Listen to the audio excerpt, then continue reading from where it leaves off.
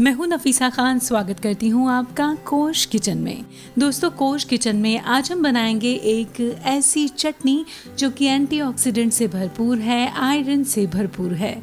तो चलिए शुरुआत करते हैं और बनाना सीखते हैं ये हेल्दी हेल्दी ग्रीन चटनी। इसे बनाने के लिए मैंने यहाँ पर थोड़ा सा पानी गर्म कर लिया है और इस पानी में हम करेंगे ब्लांच पालक को। जी हाँ इस पालक की वजह से ही ये चटनी हेल्दी चटनी कहलाएगी।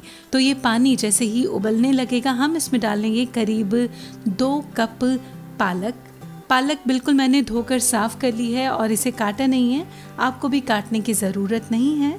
अब पालक को करीब हम एक मिनट के लिए इस पानी में ब्लांच कर लेंगे।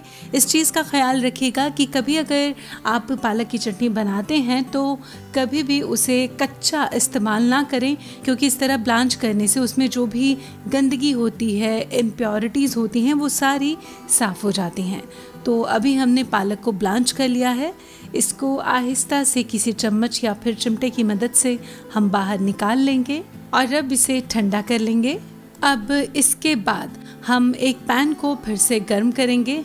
इसमें डालेंगे करीब आठ नौ काले मिर्च के दाने और डालेंगे आधा चम्मच जीरा।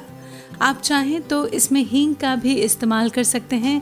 हींग का स्वाद भी इस चटनी में काफ़ी अच्छा लगता है, पर मैंने यहाँ पर नहीं किया है। अब इन दोनों ही चीज़ों को हम भून लेंगे। ये दोनों ही चीज़ें ना ही सिर्फ़ हमारी चटनी का स्वाद बढ़ाएँगी, बल्कि इम्यूनिटी को बढ़ाने के लिए, पेट की सेहत के लिए भी काफ़ी अच्छी होती हैं। तो अब आप देख सकते हैं, जीरा तड़कना शुरू हो गया है और काली मिर्च भी अच्छी तरह से भुन चुकी है। अब इसे सीधा सीधा हम एक जार में शिफ्ट करेंगे। इसके साथ ही हम डालेंगे इसमें करीब एक चम्मच अदरक कटा हुआ। साथ ही डालेंगे चार पाँच हरी मिर्च या जितनी आपको मिर्च स्वाद में पसंद हो, उतनी मिर्च का आप इस्तेमाल कर सकते हैं। अब इसके बाद हम इसी तरह इसको ग्राइंड कर लेंगे।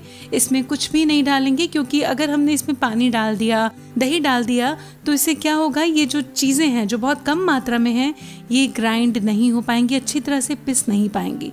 तो जब भी आप इस तरह की कोई चटनी बनाएँ, जो मोटी चीज़ें होती हैं, जो सख्त चीज़ें होती हैं, उन्हें बिना पानी डाले एक बार उसे ग्राइंड ज़रूर कर लें। अब आप देख सकते हैं, ये सारी चीज़ें अच्छी तरह से ग्राइंड हो चुकी हैं। अब हम इसमें डालेंगे ब्लांच की हुई पालक। आप इसे ऐसे भी डाल सकते हैं या चाहें तो ऐसे वक्त में तीन चार टुकड़े करके भी डाल सकते हैं। साथ ही हम इसमें शामिल कर रहे हैं दो चम्मच हरी धनिया। साथ ही जितना हमने हरी धनिया लिया है, उसका आधा हम ले रहे हैं पुदीना। ये दोनों चीज़ें ऑप्शनल हैं और अगर आप चाहें आपको ना मिले तो ना भी डालें तो भी चलेगा। मिल जाए तो अच्छी बात है। अब हम इसमें डालेंगे आधा नींबू का रस। ध्यान रहे कि कोई बीज इसमें ना हो। आप चाहें तो आधे से ज़्यादा नींबू का भी इस्तेमाल कर सकते हैं।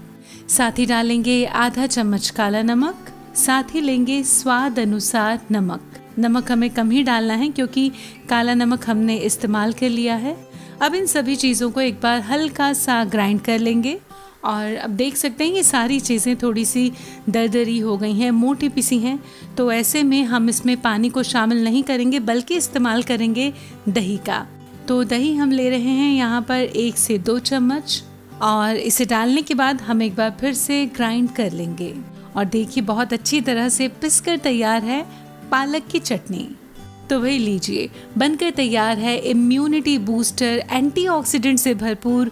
इस चटनी को आप अपनी किचन में ट्राई ज़रूर कीजिएगा और इसके फ़ायदे, इसका स्वाद ज़रूर लीजिएगा। उम्मीद करते हैं आज की ये ख़ास रेसिपी आपको पसंद आई होगी।